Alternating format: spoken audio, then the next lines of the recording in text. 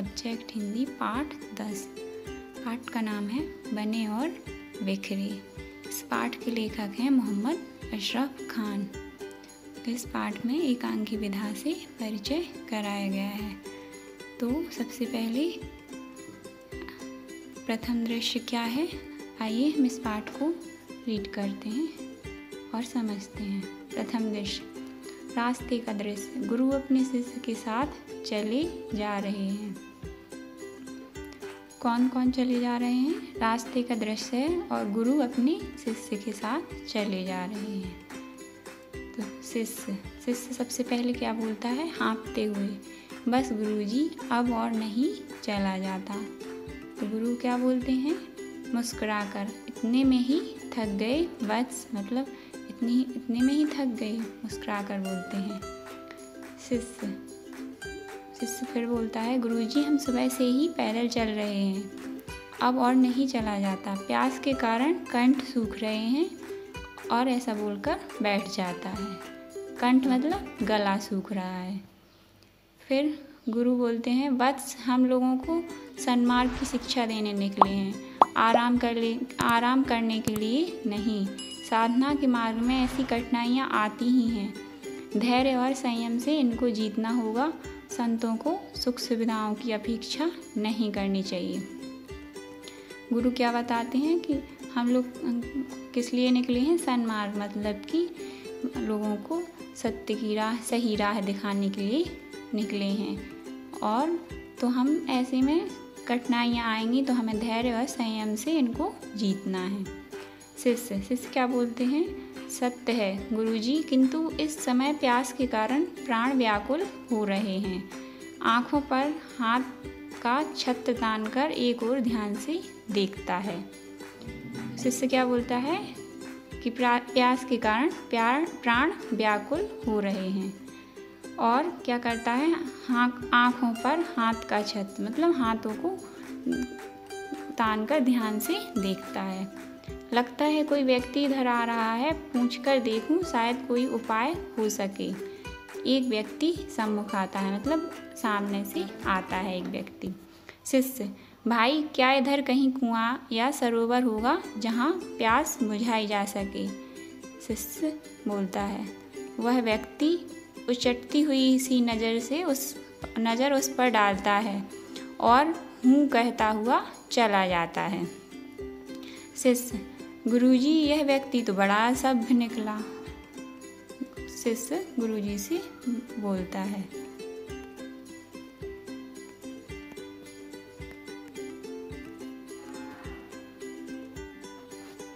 गुरु, हौले से मुस्कुरा देते हैं शिष्य, फिर से इधर उधर देखने लगता है।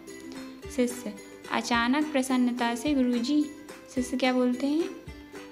अचानक प्रसन्नता से गुरुजी, यह देखिए, एक महिला सिर पर घड़ा रखे इधर ही आ रही है और महिला का प्रवेश होता है। शिष्य, बहन थोड़ा सा जल मिलेगा, प्यास के कारण बुरा हाल है। शिष्य महिला से बोलता है, महिला, उपेक्षा से मतलब उपेक्षा से बोलती है, घड़ा मेरा कुएँ से जल मैंने भरा तो मैं क्यों दे दूँ? जाओ खुद निकालो और पियो, आलसी कहीं के। महिला ऐसा बोलती है, फिर शिष्य। शिष्य बोलता है, लेकिन कुआँ कहाँ है, इतना ही बता दो। शिष्य महिला से पूछता है, महिला, यह जानना तुम्हारा काम है, मेरा नहीं, इतना बोलकर महिला जाने लगती है। शिष्य, अरे सुनो महिला चली जाती है। मतलब शिष्य बोलता है, अरे सुनो, लेकिन महिला चली जाती है। शिष्य हाथ उठाए महिला को रोकने की स्थिति में कुछ क्षण खड़ा रह जाता है। फिर गुरु की ओर मुड़कर देखता है और गुरु मुस्कुरा देते हैं। शिष्य, उफ, ऐसे आदमी तो कहीं नहीं देखे। इतने असभ इतने आविनीत शिष्य ऐसा बोलता है। गुरु गुरु पुत्र संसार में हर तरह के लोग हैं। उनके व्यवहार भी अलग अलग हैं। कोई भला है, कोई बुरा है। तुम्हें इतना अधीर नहीं होना चाहिए। हो सकता है कोई भला मानस मिल जाए। और इतने में क्या होता है? एक व्यक्ति का प्रवेश। रेशमी पगड़ी, मोतियों की माला, कीमती जूतियाँ और सुंदर रेशमी वस्त्र पहने एक व्यक्ति प्रवेश करता है, जो सामंत जैसा प्रतीत होता है। फिर आगे शिष्य, स्वागत। यह कोई सज्जन पुरुष मालूम होता है। शिष्य क्या सोचता है कोई सज्जन पुरुष मालूम होता है। प्रकट महानुभाव भूख प्यास से बेहाल हैं। संध्या हो रही है, कहीं आश्रय नहीं मिल रहा है। आपकी कृपा हो जाए तो हम लोगों की कष्ट दूर हो जाएँ, शिष्य उस व्यक्ति से बोलता है। व्यक्ति दोनों के सिर से पैर तक घूर कर व्यक्ति क्या करता है, दोनों को सिर से पैर तक घूर कर फिर बोलता है, क्या मैंने कोई धर्मशाला खोल रखी है या तुम्हारा ठेका ले ले रखा है? तुम जैसे साधु सन्यासियों की हमारे गाँव में कोई आवश्यकता नहीं, कहीं और आश्रय ढूंढो। और वह इतना बोलकर वह व्यक्ति चला जाता है। शिष्य, गुरुजी, एक गुरुजी, एक दो की बात नहीं है, पूरा गाँव ही ऐसा है। ऐसे अशिष्ट और क्रूर आदमी कहीं नहीं देखे। अब आज तो खुले आसमान के नीचे रात बितानी पड़ेगी और शिष्य गुरु सिर पकड़कर बैठ जाता है। फिर दूसरा शिष्य। दूसरा शिष्य क्या है? शिष्य सामान समेटकर पोटली बाँध रहा है और गुरु शांत मुद्रा में बैठे हैं। दूसरा दृश्य। गुरु, आओ पुत्र, चलने से पूर्व प्रार्थना कर लें। गुरु बोलते हैं और दोनों प्रार्थना की मुद्रा में बैठ जाते हैं। गुरु, हे ईश्वर, हमारी गलतियों को क्षमा कर, हमें सतपथ पर बढ़ने की शक्ति दें। मतलब कि हमें सत्य की राह पे बढ़ने की शक्ति दें। असत्य, अन्याय, छल, द्वेष से दूर रखें। हमारे हृदय में करुणा, संतोष, प्रेम, सहिष्णुता और विनय भर दें। गुरु एक वाक्य कह लेते हैं तो शिष्य पीछे से उसे दोहरा जाता है। दोहराता जाता है। गुरु, हे ईश्वर, इन गाँव वासियों पर कृपा करना। ये सदा इसी गाँव में बने रहें। शिष्य, यह क्या गुरुजी? शिष्य टोकता है, यह क्या गुरुजी?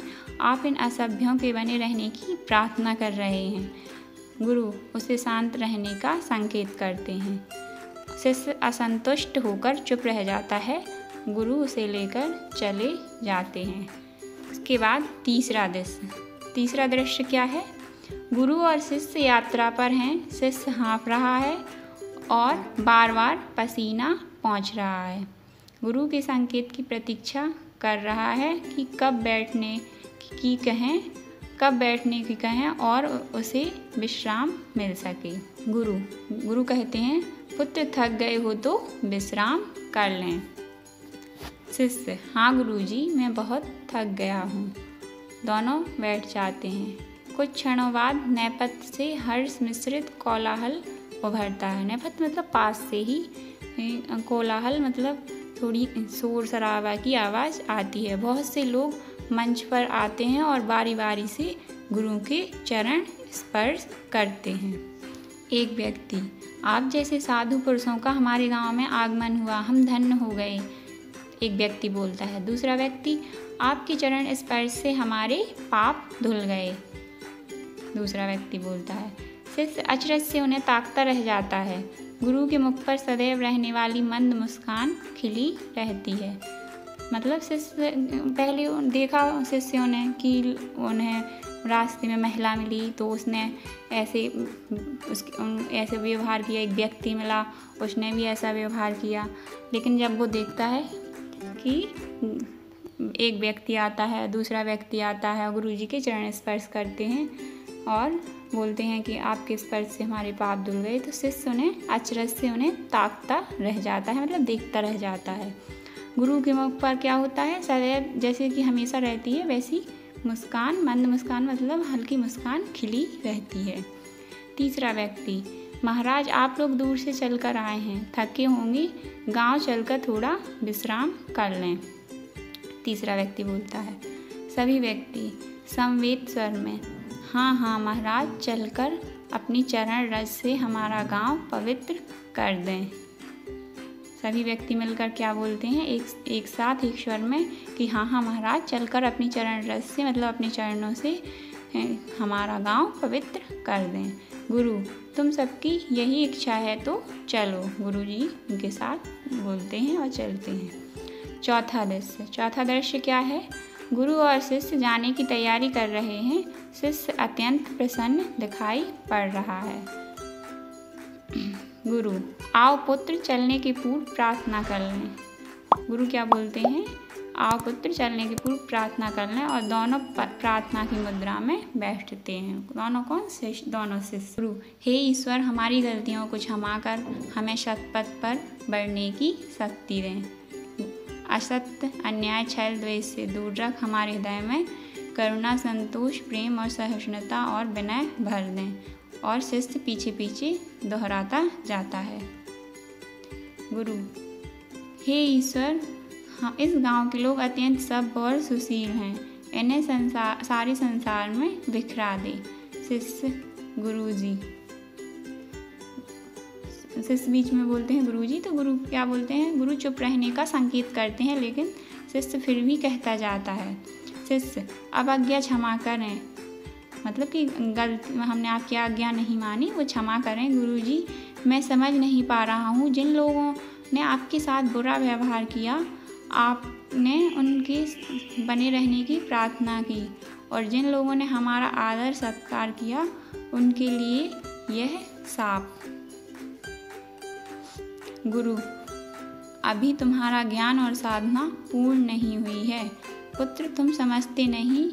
मैंने उन असभ्य और स्वार्थ, स्वार्थी लोगों के लिए एक जगह बने रहने की प्रार्थना इसलिए की कि अगर समाज में ऐसे व्यक्ति फैलेंगे तो अपनी कुसंस्कृति का प्रचार करेंगे।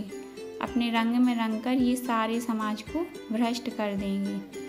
किंतु यदि अच्छे व्यक्ति समाज में फैलेंगे तो वे अपने वे अपने साथ निस्वार्थ सेवा, भाव, करुणा, दया और प्रेम आदि सद्गुणों का प्रसार करेंगे। इसलिए मैंने इन गाँव वालों के सारे संसार में बिखर जाने की प्रार्थना की। गुरु शिष्यों को समझाते हैं। शिष्य, आप सत्य कहते हैं, गुरुदेव। शिष्य भी गुरु जी की बातों को सही मानकर हाँ में हाँ बोलते हैं। गुरु, आओ अब हम आगे की यात्रा पर चलें। और दोनों चले जाते हैं और पर्दा गिरता है। तो आपने इस लेसन में देखा कि किस प्रकार उन्होंने सस्यों को सही राह पर चलने की